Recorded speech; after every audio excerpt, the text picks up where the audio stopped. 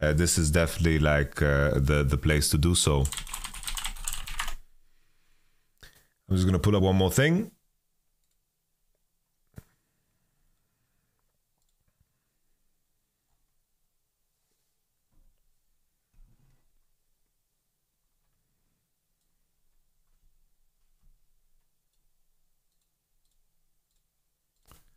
All right. So we're going to start off with Astralis. So Astralis, in their game so far, the shining light has been Kobbe. Kobbe though is always being put in very tough spots due to Astralis's draft identity. What Astralis is trying to do is to pick full top side together with jungle and top, and then they're dropping bot in most games. I believe that Kobbe and JeongHoon are by far the best performers on the team, and I think 113 has done better than we expected. But they're always being put in situations where their bot lane picks are very unoptimized. So in this particular scenario, uh, everything gets banned. Ezreal, Zeri, Lucian, Caitlyn, Yuumi is out. All of all good champions are out, and the enemy has Varus, and he needs to find a champion that is useful into the enemy team. And he's playing Xayah now into a Cassio. So Cassiopeia here was a very genius pick. We can talk about that later when we talk about Team Heretics. Uh, because Cassio is, of course, seeing uh, three champions that she's very good into. Cassio is good into Fiora because of the dash and the W, and she can kite and hit, and Viego the same way, Ryze, of course, the same way. Here, Xayah's picked, and in this particular game, Xayah was so fed in such good condition she could have potentially carried, but she will never be able to trade autos with something like Cassio. So her range was definitely a problem.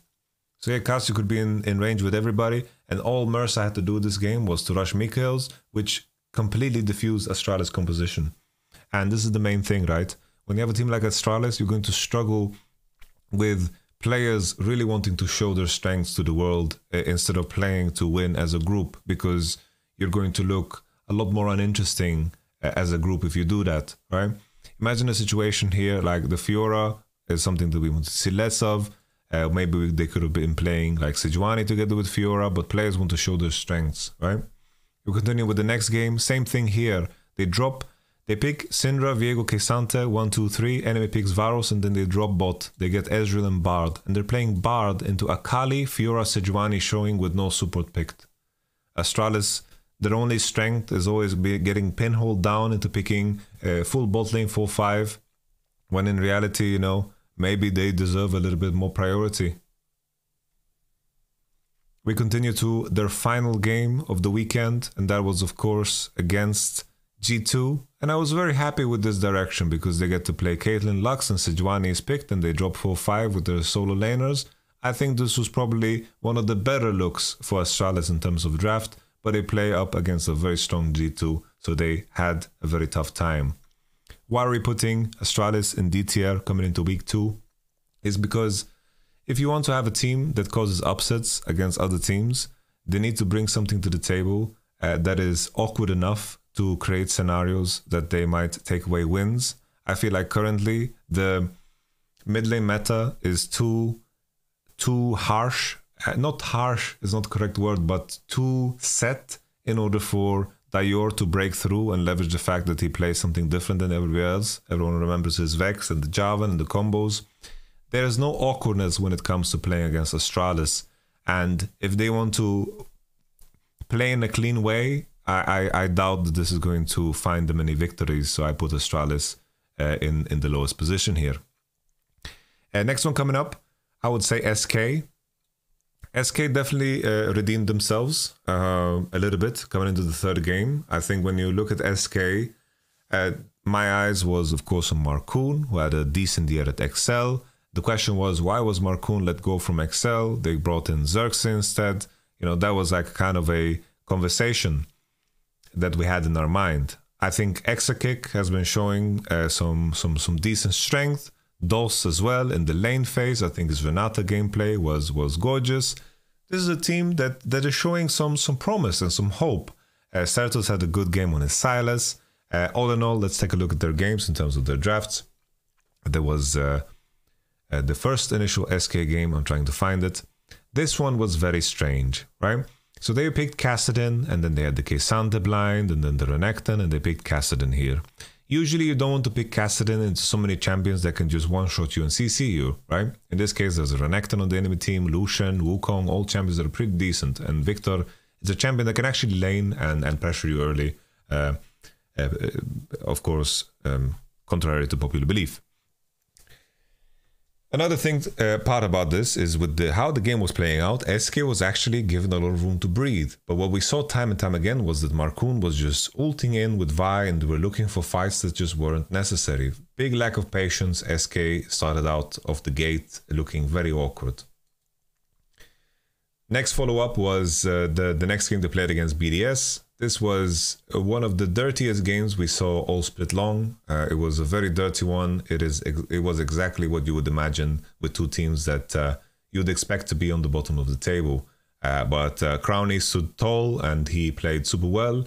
Uh, coming into this game, he managed to squeeze the team fights, and then eventually, you know, he was the the king of the chaos that was created in this game.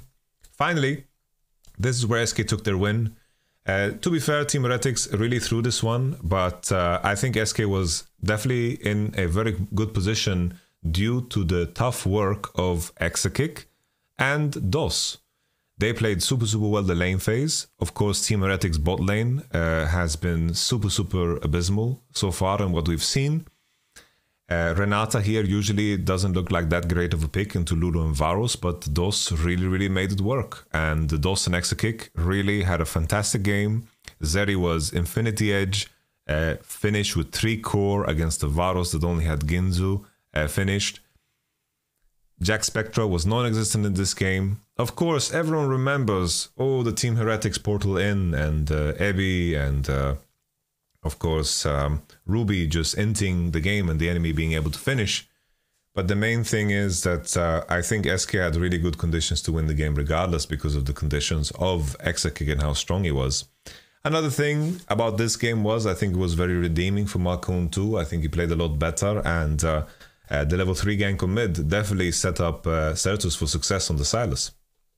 So all in all, I think SK is definitely better than um, I, th- I would say the SK is definitely better than um, than Astralis, uh, but still a ninth place uh, seems pretty reasonable.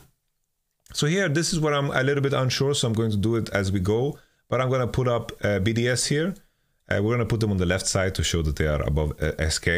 Uh, maybe I'm going to move SK BDS up one tier. I need to see how the rest of it plays out. but to talk about BDS, I think BDS have shown, you know,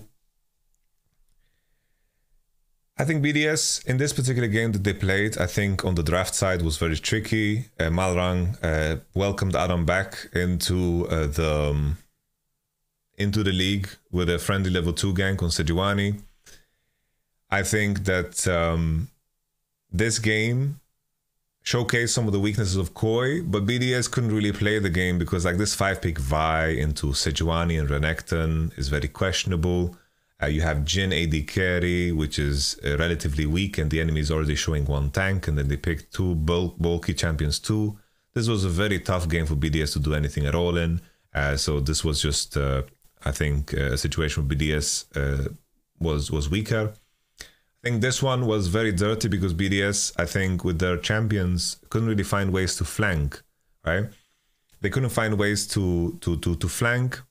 They couldn't find ways to uh, find success with the Akali. They were always trying to walk into the enemy team with the Caitlyn first and to build around the Caitlyn, which kind of makes sense because Crownie is, is the strongest player.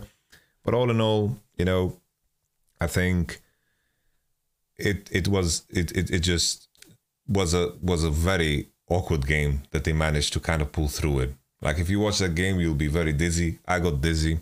You know, some optimization and draft here as well. Caitlyn if you pick Caitlyn, picking Maokai makes sense, right? Instead of picking Sejuani, the ones who synergize with melee champions, the one to all in, and those champions are going to be, of course, worse with Caitlyn. BDS, I think that they are in the process of kind of finding some kind of identity, and I hope that they go all the way through it, right?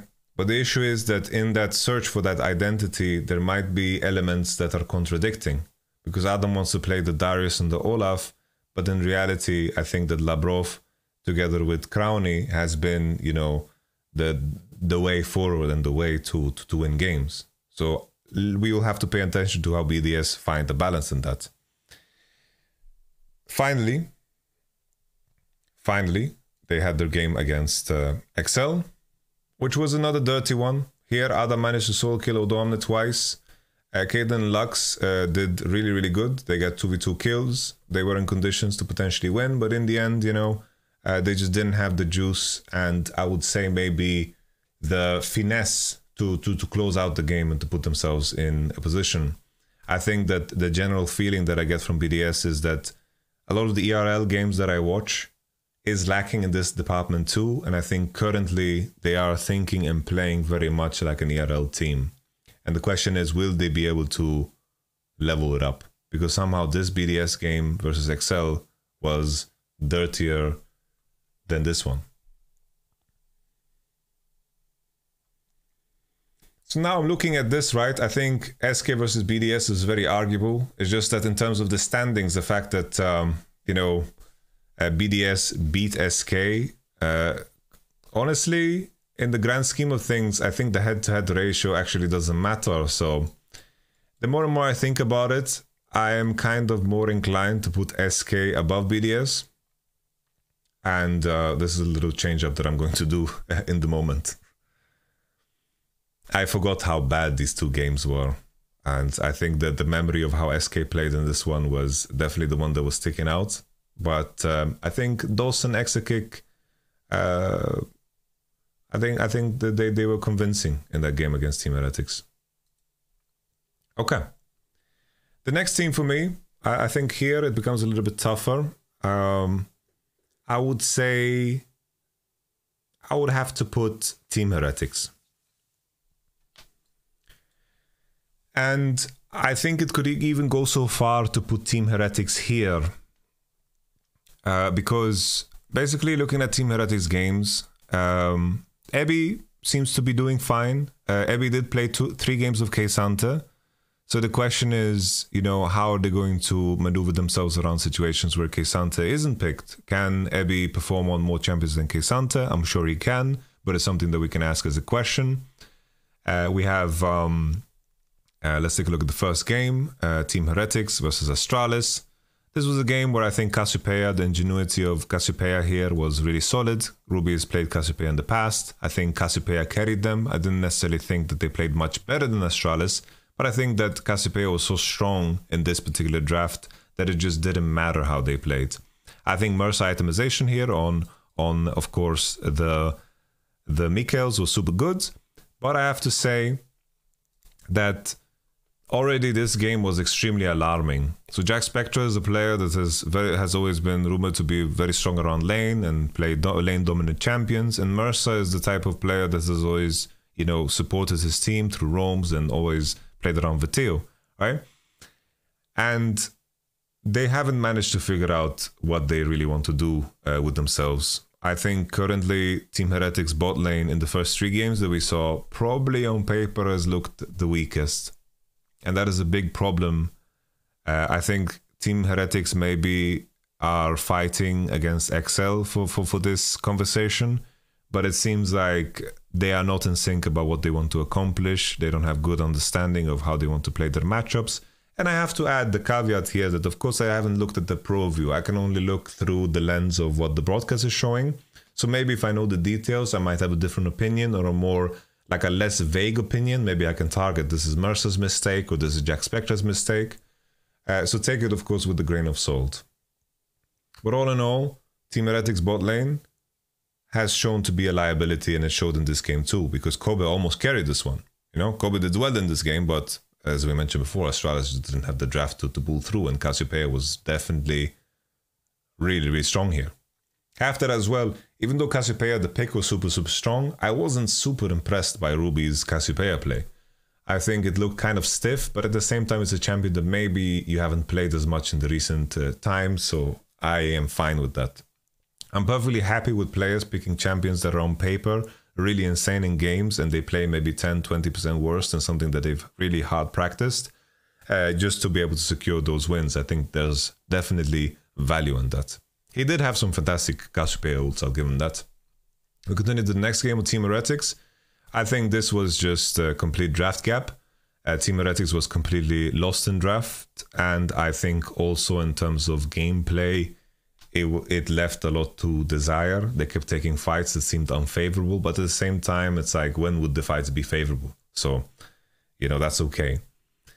Here, to pick Kalista into Zeri is bold. They pick Wukong together with it, so, you know, Wukong maybe isn't on the same wavelength as a Kalista. Sejuani, Vitality showing a different colors, and Sejuani and Jax, they just decide, we're going to drop support and not pick Yuumi into the Kalista because that's where we're going to fall into the enemy trap. Uh, here, uh, of course, Vitality are banning Renata because Kalista Renata is a combo, and I think what Team Heretics should have done is to pick Renata on 3 and then ban supports that are good into Renata, still ban the Yuumi and then maybe the Karma or the Lulu, and then be very happy because you have the Kalista Renata combo, but instead the K'Sante is banned and enemy bans Renata. Your response needs to be instantly to ban Braum. Uh, if you have the intention to last pick mid, uh, you need to remove Braum. Braum is a champion that is going to be good into all of the engage supports. And most of the time uh, with Kalista, you're going to look to pick an engage support. The other way around is that you just pick Azir on 4 and Azir Kalista have very good synergy together.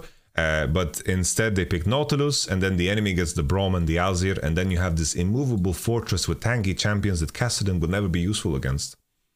Kassadin scales well, but it's very important to remember the context he's not going to scale well against this team because this team is just going to scale better. They have more CC, they have a Braum shield to, to block the first combo. You're going to have so, need so many items to be useful. You need like five, six items. It was a terrible five pick. Same time, no synergy with what Kalista wants to accomplish. And in this game, once again, Team Heretics, Kalista and Nautilus, the way they were managing the bot wave looked very awkward. They didn't really find any opportunities to, to pressure the Zeri Braum and it seemed like they didn't have any understanding of how to play the lane matchup nor how to control uh, their lane, which is a very big problem if you have the guts to pick Kalista. So here I felt like Kaiser, Neon, Masterclass played super good, and I think that there was a situation around mid where uh, Perkz inted, but all in all, you know, Team Heretics still really bad draft, and once again eyes on the bot lane. Looking at the final game that they played, here they went for the Varus Lulu. And I can tell you guys this, like the Varus and Lulu got monster fisted in lane.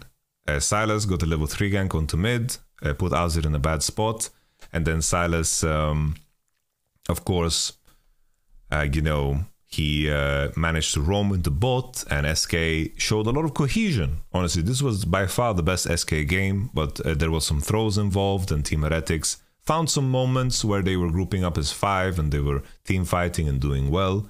So that was still, you know, some good sides of Team Heretics. I think sometimes they show very good principles and a good understanding of what they need to do with their composition.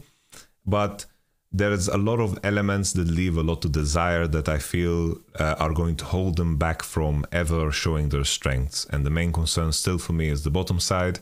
I think that Evi has performed well. I think Jankos has performed fantastic.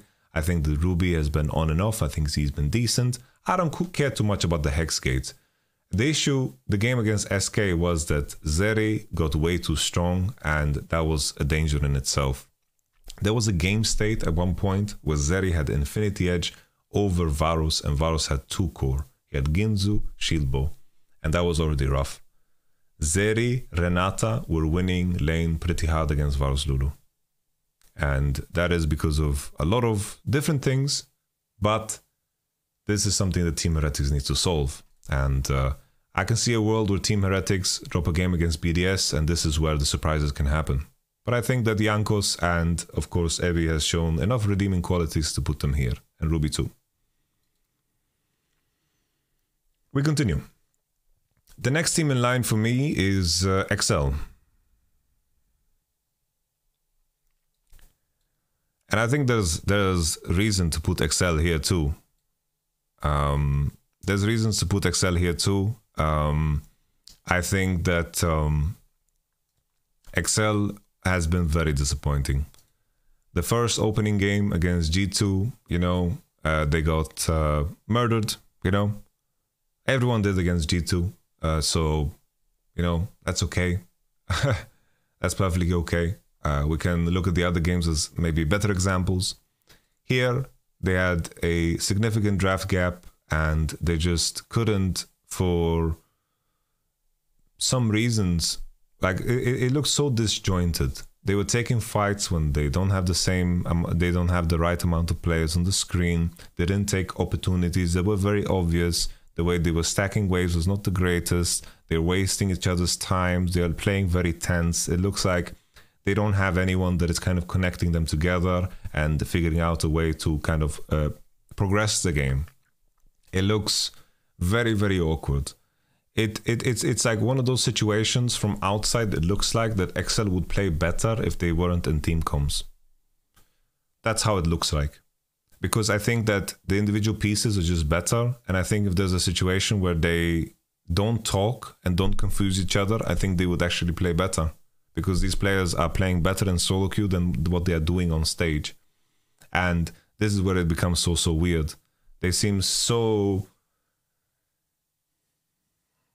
I don't know how to say it, but they seem so stiff. A good good example is like someone mentioning in the chat right now it's like there was the dive operation on top they're hovering they're not taking red and they're just hovering and then the wave top doesn't crash and then it's like they just waste a lot of time a lot of pressure and then all of the pressure was gone. Later on their team fights were much stronger but then Patrik just uh, kind of threw it and, and, and played it not so great and uh, then there was a situation so Odoamne W is a pink ward and there's just a lot of like small things that just ruin the game ruins the game on the spot, and that can be rough to be be in that position for best of one. But when I'm trying to look at the redeeming qualities of Excel, it is just the hope of what we had before the season that Excel is going to do well. In terms of what we can look at on the first initial week, in terms of what is redeeming in terms of the gameplay, right now, very little. Um, but then again, you know, I think Excel, we can easily put them here. I just need to see uh, how I build out the rest of the list. I think after Excel, I would have to put Koi. I think, you know, Koi, the main redeeming quality for Koi is that it seems like Malrang is the only one that hadn't hasn't had a long off season. Um, made the change of uh, swapping out Odoamne for um, for um, for Szygenda, and I think that Malrang in the winds has been the one carrying, but Koi is struggling so hard to be five people on the same page, and in a lot of cases where, like I remember this game, the game against Fnatic where Malrang is trapping the enemy for a full minute, and it seems like the team. Obviously, I'm just speculating because I don't know the comms, but it, it looks like he has to force people to to come together and to fight with him. Uh, Koyas looked very disjointed, even in the game that they won. The game against Excel was such a steal uh, that uh, I feel worried about placing Koi higher. Koi right now doesn't look like a team, and this is a team that changed one part uh, another thing is that Koi was rumored to not have scrimmed so much in December. Uh, obviously, it's a rumor, so I don't know if it's true or not. And it seems like those growing pains are there. And that to me is what brings concerns about Koi. But what makes Koi great? Why, why is Koi better than the other teams? Well, individually, they're still, still very strong players and they have a lot of pedigree to, to work on. And I think Malrang has been a very shining, strong spot for his team. So here Malrang level 2 gank top and really broke the top matchup, which was a super big deal, and then he managed to recover the game. Malrang has, has, has been playing super, super good. Uh, another thing about Koi, right, is that uh, in this particular game, Lucian, Yuumi, Caitlyn was out, and then he picked Heimerdinger Jhin, and then they dropped full bot because they were happy to play into Heimerdinger Jhin. But uh, I think that uh, Koi, you know, I'm still waiting for their bot lane to be to showcase that they are the strength with the Caitlyn play and so forth. But Caitlyn Lucian is not something they've been allowed to pick uh, ever so far. Uh, we continue into the next Koi game, which was against Excel. This is a very dirty one. Uh, they have the Maokai, the Kalista Maokai. They played into the Lucian Nami. Enemy banned Caitlyn away. there's never going to be a case where Koi gets Caitlyn and Lucian, and that's why where they can, of course, lose some of their teeth uh, in the bottom side. Uh, Koi is the type of team that needs to figure out how they want to approach the meta, and I think uh, eventually, you know, Koi has had moments in the past where they had like ruts and and and rough play. This is definitely a team that can bounce back, and we'll just have to see how they do it together with, I mean, without Odoamne in this case. Here too, I think Kassadin was kind of greedy, picking Kassadin into Vi, Renekton, Lucian, I think is super hard. Uh, but they kind of stole a victory here off of the mistakes of Excel. And then finally, this is a game that we really don't stream. But we saw a lot of problems with Koi's gameplay. Uh, here, Fnatic showed the strength of Ashe and Maokai and Jace together. They had a very powerful composition that was very tough to break. But Koi looked very awkward in that one, and they were almost never five people on the same screen. And that, in the end, is what League of Legends is. How can you make sure that you're five people, five people on the same screen without losing any gold. Uh, so Koi has a lot of work to do. Next in line is Mad Lions for me. Uh, I think that um, Mad Lions uh, showed strength around bottom side. I think they played Lucian Nami well. They played the Lucian Lulu. I think that they have um, some fundamental ideas that they're trying to execute on within the game, which I think is inherently positive. And I can see what Mad Lions are trying to achieve. They are playing together as a group. And of course, Mad Lions, of course, we're keeping in mind that they had a weaker schedule. They had the weaker schedule and uh, they managed to pick up some victories. But I think the fact that you know Carzzy and Hyli is, is working out together. You know, people are gonna say, well, Hyli he died a lot in the third game, but that game was already in a dumpster, and he was just trying to to to make something crazy happen. You know, he's trying to flash polymorph just to you know at least lose this lost game with throwing everything on the table. And I don't think we should judge Hyli for that because might as well do it. You know.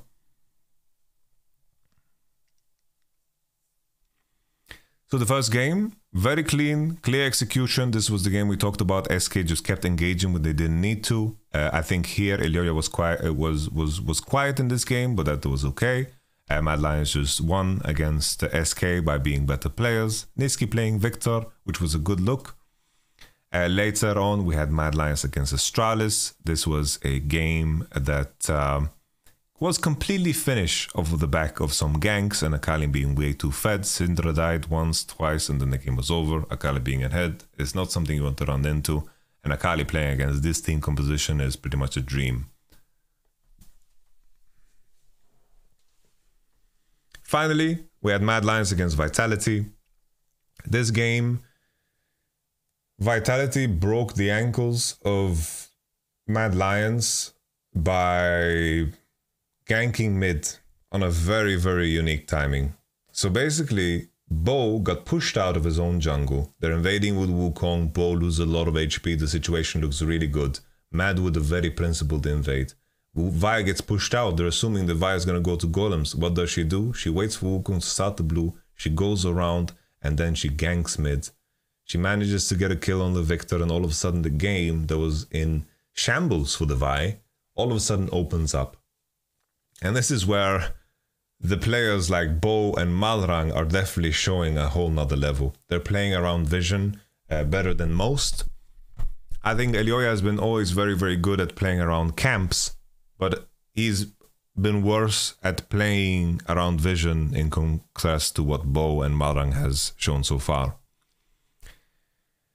Later on, Elyoya was in a situation where he was trying to catch the Azir Vi was in location, and then all of a sudden the game uh, blew up completely. Vi and Azir were just way too strong. But then again, still, Mad Lions showed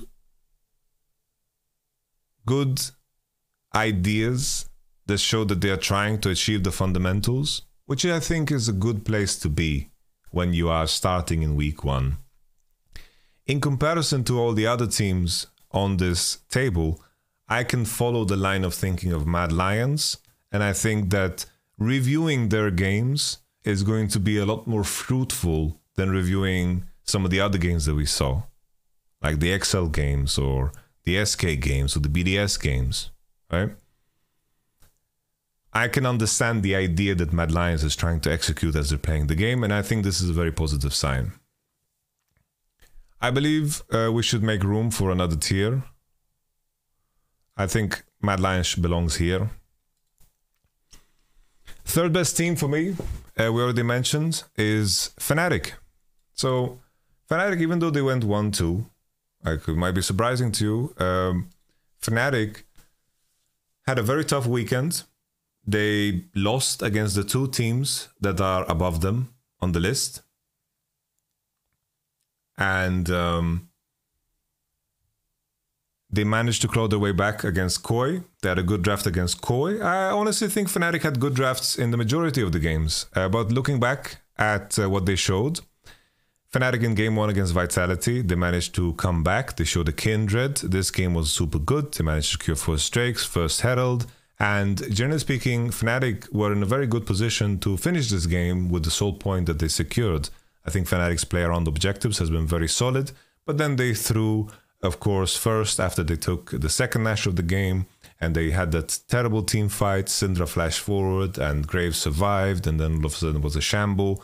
Rekkles was not posturing to fight, he was looking to base, and then he was way too far to participate, he was not involved at all, and it was just Fnatic looking very disjointed in this game. Vitality saw the opportunity, and Bo and of course Photon really delivered some insane gameplay in this one. I think also Kaiser played phenomenally well. This is something that Rox needs to work on in terms of how he opens up on the map and how he finds opportunities to connect with his jungle and mid lane. I think this is something that the Rox needs to work on super, super hard in order to compete against the likes of Mikyx and, and Kaiser currently that have performed super, super good. But Fnatic's mid game has looked very good. Even in positions where they are weaker, even in positions where they're behind, they have looked pretty decent. And I think that's very positive. The main concern for Fnatic is how do they maneuver around the likes of Caitlyn, the likes of Lucian, the likes of Yuumi, and Heimerdinger. These are four champions that are very strong that we already talked about on this channel. And they haven't played any of them so far. They played one Yuumi game and they lost that game in three minutes. Uh, so we will have to see. In interviews and so forth, they talked about never playing Yuumi again, but uh, I'll believe it when I see it. The second game against G2, as mentioned, lost in three minutes. We don't need to talk about that. Um, will probably take me longer to talk about the game than the game actually was in all reality. And then the final game, Fnatic against Koi. Here they showed a lot of class in terms of understanding the composition and being patient and winning in uh, probably the most chess-like manner. I think that uh, Fnatic is very good at finding advantages uh, through, uh, you know, uh, just macro plays and understanding, you know, how to punish someone in the enemy team being out of position. And I think this is where you can potentially see the bright side of uh, Fnatic's changes is that uh, now with the newcomers, uh, they can kind of, as the newcomers are going to be a little bit more passive in their approach, you can kind of lean in more into playing what is Humanoid's macro game. This was where sometimes Hyli and Humanoid would kind of you know, butt heads in terms of how they wanted to approach the game. And sometimes instead of fighting or finding the best way to play the game, just committing to one way to play the game is sometimes just easier, right? And this could be the main benefit of Fnatic making changes, even though on paper I still think that Upset and Hyli are stronger players than Rekkles and Rux.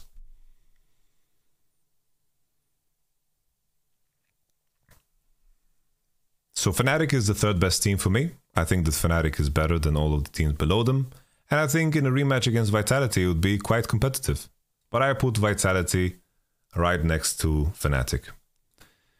So if we look back at Vitality's games over the weekend. First one was against Vitality, I mean versus Fnatic, and we mentioned it already. It was quite a steal. They stole that game away. They had a strong early game, and then Fnatic recovered super, super well. This was the game where Graves level 2 ganked Varus, and it showed Bo's ingenuity, right? The play around vision. and then Vitality stole that game away with a crazy mechanical play from from Graves and uh, and then Jax. Like Photon. When I was watching this game, Photon and Bo looked like they really didn't belong in this one.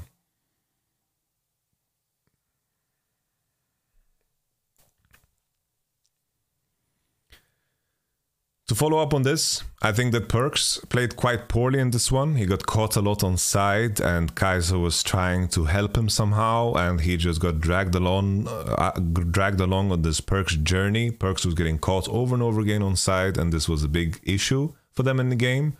That uh, Fnatic was very quick to punish in the mid game, as mentioned before.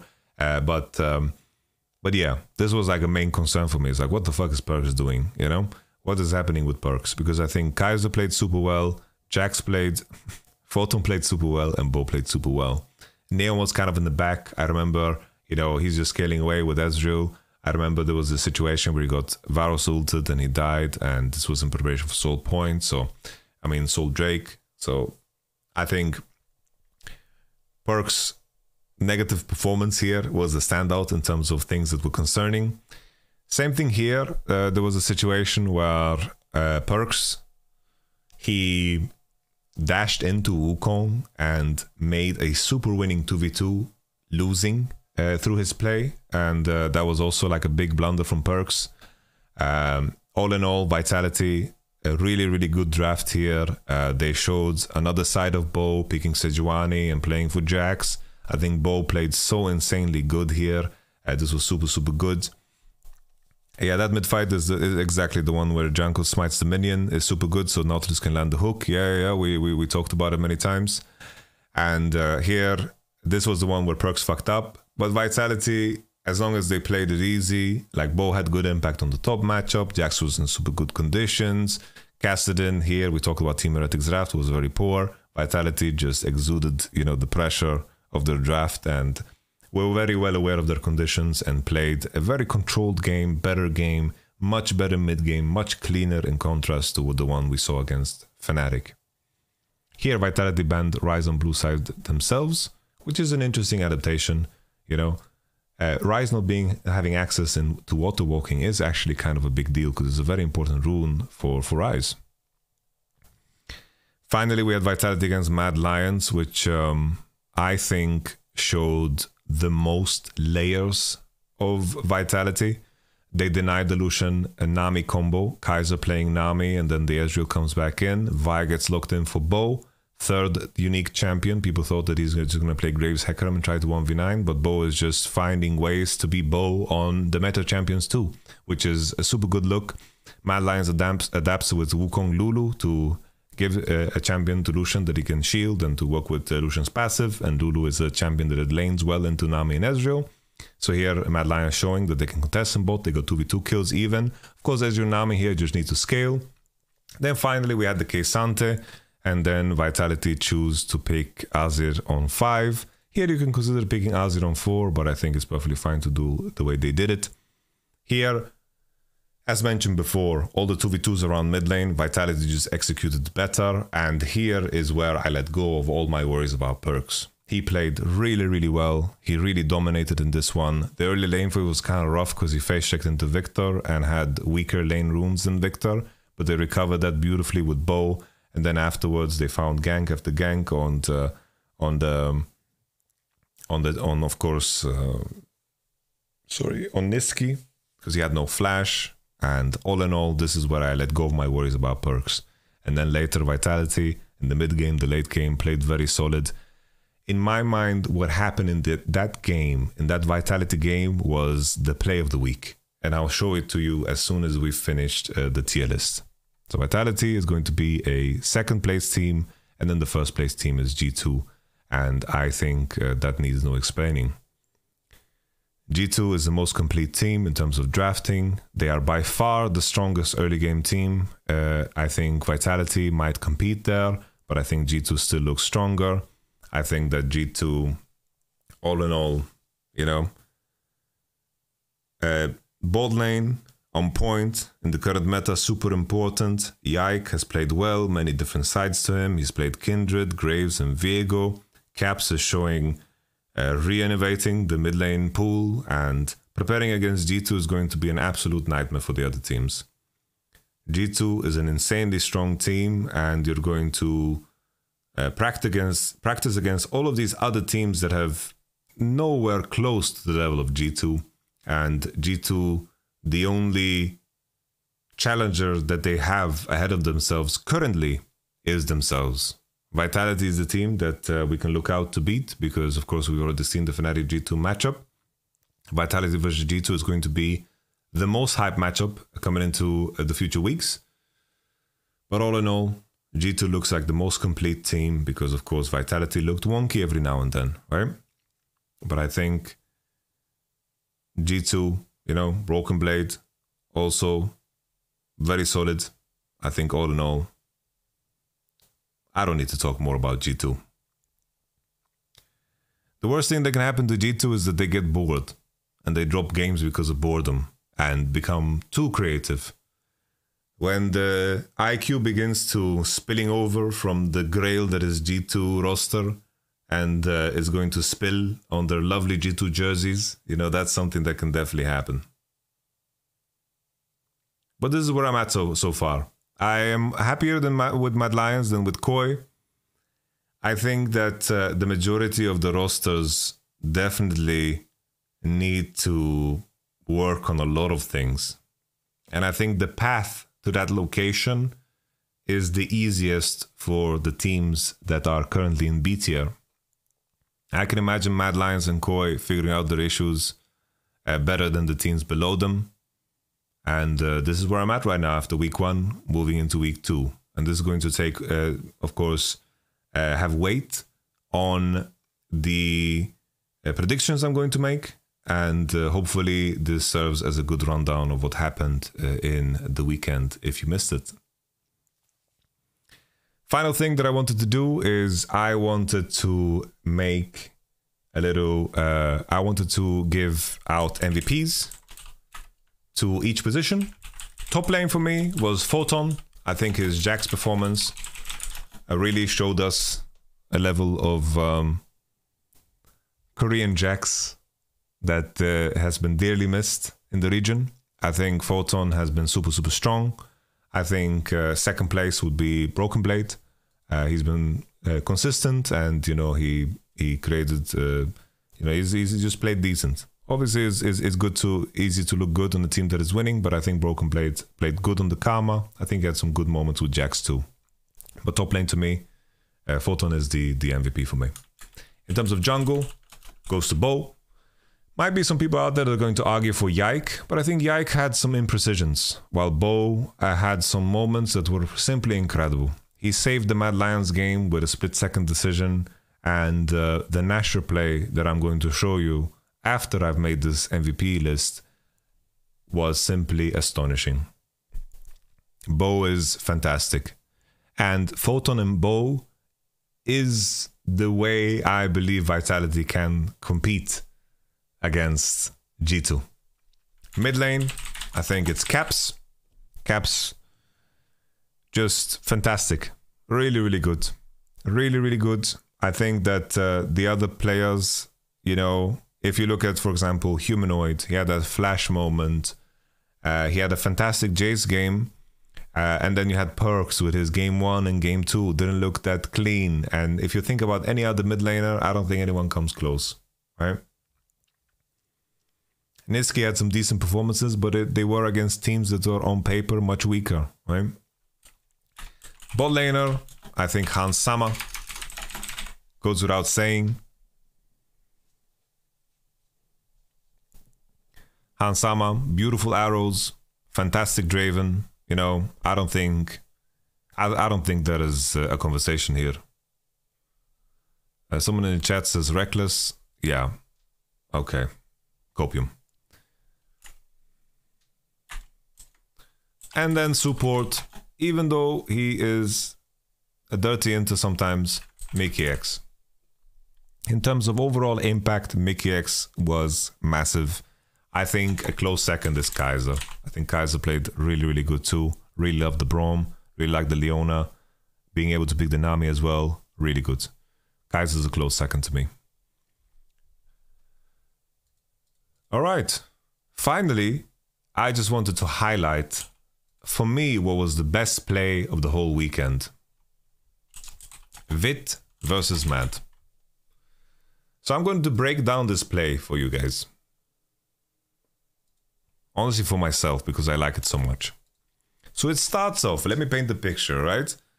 Mad Lions are on the back foot, they're trying to find ways to claw themselves back into the game. The enemy Azir is super, super strong and they catch Photon. He tries to get away by ulting over the wall, but he just doesn't reach. He doesn't have the angle.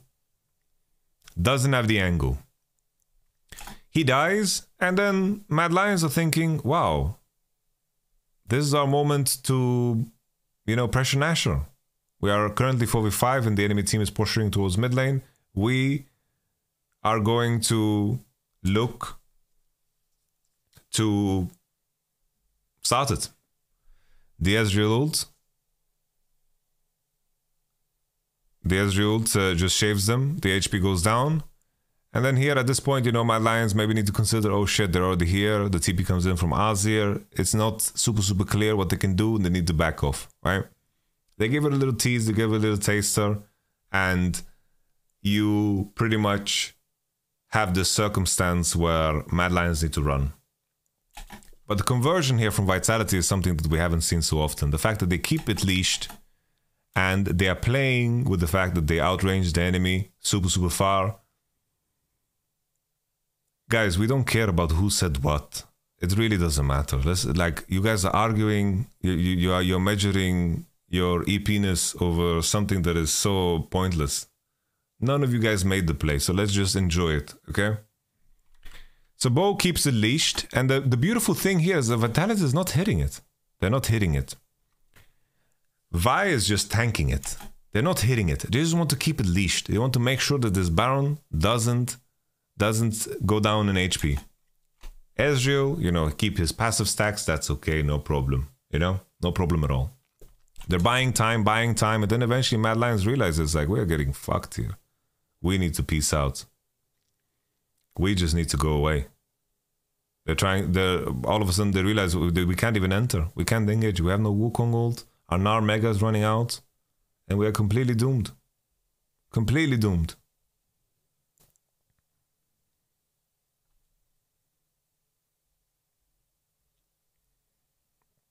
And then the sweeper to put spot the Wukong, and then the smite to come in.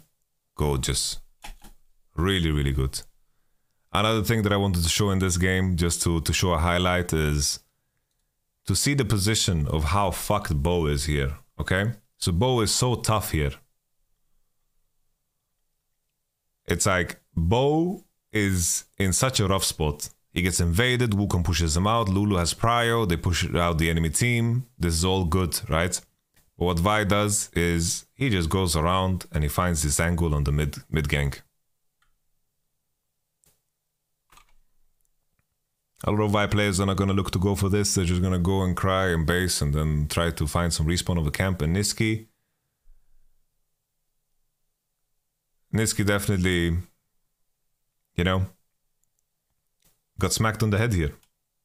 He felt safe. Vi was pushed out. They thought he was fucked. Obviously, the follow up here was kind of crazy. The, the fact that they're tanking this wave and they don't know what the fuck they're doing, so it's a bit troll. Uh, but all in all, Bo is flashing to get gold. Like, Bo is flashing to get gold because he has no jungle.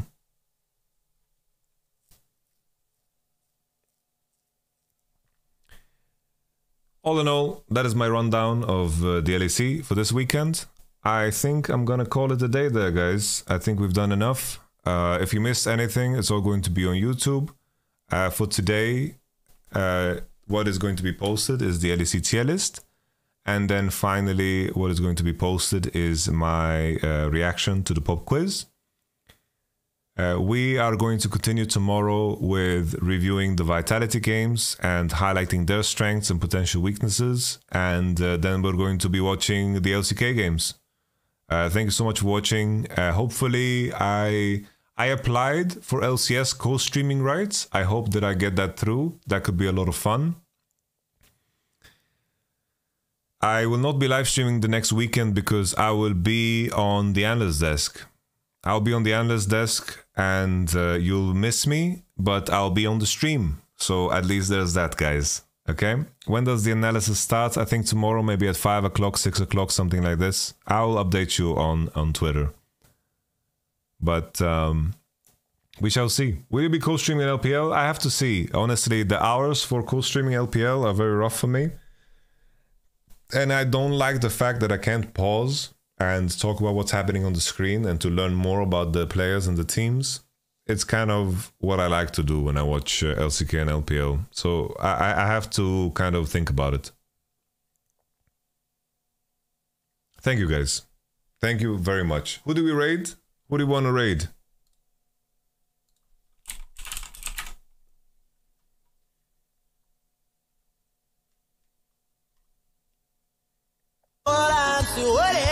Whoa, that was loud. Bo?